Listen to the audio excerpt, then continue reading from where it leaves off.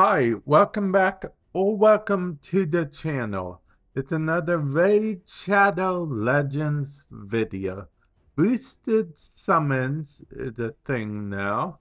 Um, and the boosted summon this time around is none other than the champions right here. So basically from ancient and sacred shards, you'll have a chance of either getting the legendary champions or these epic champions. And from a void shard, you'll have a chance of getting this champion. So, I decided I'm going to use my two void shards to see if I get lucky. In case you guys are curious, this is not a double summons at all.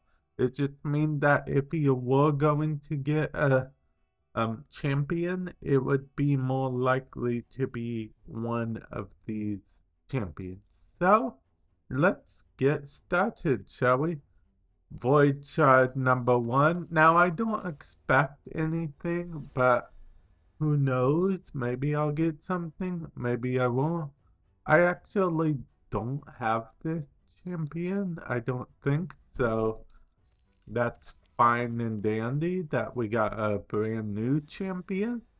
We got another epic champion. Okay. Um is this a new champion?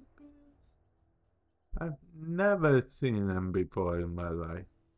Okay, well, I'm actually going to end the video here, I guess.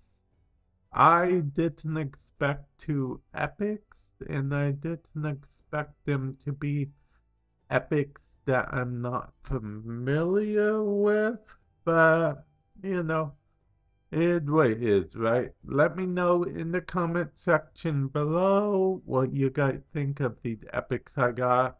Are you guys going to pull your void shards if you have any?